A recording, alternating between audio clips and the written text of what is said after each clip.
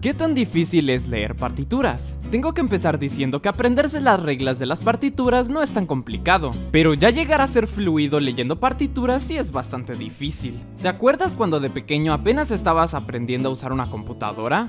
Y cada vez que querías escribir algo con el teclado, tardaba 7 años en encontrar la tecla que querías presionar? Pues así va a ser más o menos cuando empieces a leer partituras. Así que para ganar fluidez en esto, vas a tener que practicar mucho. Y cuando digo mucho es bastante. Primero vas a tener que aprender las reglas de las partituras. Luego consigues una partitura, te sientas enfrente de ella con tu instrumento e intentas tocar lo que diga la partitura. Y tienes que prepararte mentalmente porque esto es muy aburrido. Recuerden que tenemos una banda llamada El Noveno Círculo. Y ya tenemos nuestras canciones disponibles en YouTube. Si las escuchan les regalamos un Michi, así que vayan.